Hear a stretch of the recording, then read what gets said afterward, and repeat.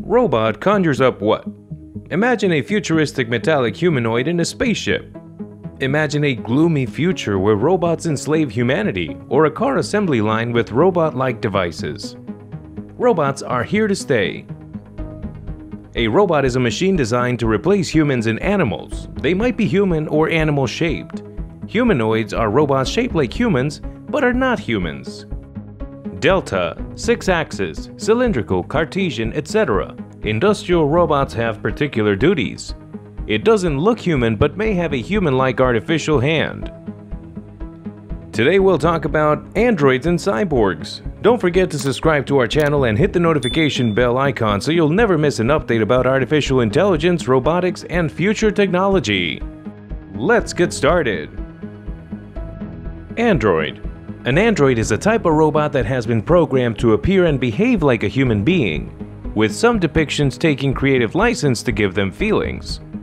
Androids are artificial beings that take the form of humans. To provide the impression that it is a human being, it is constructed from a substance resembling flesh. As a result of technological advances, the robots that populate science fiction are beginning to take on the appearance of human beings. Macco Robotics, based in Spain, is responsible for creating the food and beverage serving robot known as Kime. It is housed within a booth and has a human-like head and body with two arms. Kime has been tested in gas stations around Europe and in a brewery in Spain, where it was discovered that he is pretty skilled at pouring beer and can serve up to 300 glasses each hour. The humanoid possesses anything from 14 to 20 degrees of freedom and various intelligent sensors. It makes use of machine learning to enhance its capabilities. Cyborg a live entity that has been modified with robotic or mechanical pieces to increase its capabilities is called a cyborg. Fashioning them in the likeness of human beings or animals is possible. People mistakenly believe they are people even though they can take any form. For example, they have appeared in many science fiction movies like Star Trek. They are thought to possess strength, capabilities, heightened senses, brains based on computers, and physical abilities far beyond humans' capacity. An example of this would be a human being supported by a bot to target social media platforms with likes and shares. It has a human exterior while the inside is made of artificial material.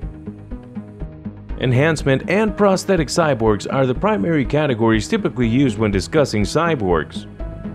A person is considered a prosthetic cyborg if their body has been completely replaced with robotics. On the other hand, a person is deemed to be an enhanced cyborg if their body has been augmented with robotics. There are many distinct categories of cyborgs, each of which possess a unique set of capabilities. Fictional characters such as Darth Vader, Robocop, and Terminator are examples of this. First, you need to forget all about the dreadful garbage released after the movie that came out in 1987. There was a lot of trash. When female leads were either one-dimensional or utterly absent in blockbuster films, the original RoboCop was a purposefully over-the-top ultra-violent satire of American culture that lampooned the endless stream of explosion-laden war and action movies of the era. It featured an intelligent and engaging female lead in a time when women were either completely absent or only featured in a one-dimensional capacity. RoboCop became an instant pop culture phenomenon thanks to the robotic mannerisms, deadpan one-liners, and hip-holstered hand cannon of the reconstructed officer James Murphy. The film also affected the action movies that were made in the following several decades. Key differences between an android and a cyborg distinctions in goals and objectives. The reason a cyborg is created as opposed to an android is the primary distinction between the two. It has been determined that having a helpful companion like an android would benefit humans. Cyborgs, on the other hand, have infirmities or physical impairments and have been fitted with artificial limbs to make their lives simpler. The difference in structure the most significant distinction between a cyborg and an android is that cyborgs are composed of human and machine tissue. In contrast, androids are made solely of mechanical components. Android robots have the same size and structure that human people do. They are designed to mimic humans. Cyborgs, on the other hand, have characteristics that are not present in humans at all. For instance, they may have a robotic arm or leg at their disposal. An android is an artificially created being that looks like a person but does not really contain any living cells or genetic information. On the other hand, a cyborg is an artificial being that incorporates biological parts into its structure. For example, a cyborg might have an eye implant or a robotic limb instead of a natural limb. Disparities in a variety of abilities Cyborgs can communicate and interact socially with humans using verbal and non-verbal means of expression. In general, androids have increased physical prowess. In addition, they can thrive in harsh environments that would be fatal to both humans and cyborgs.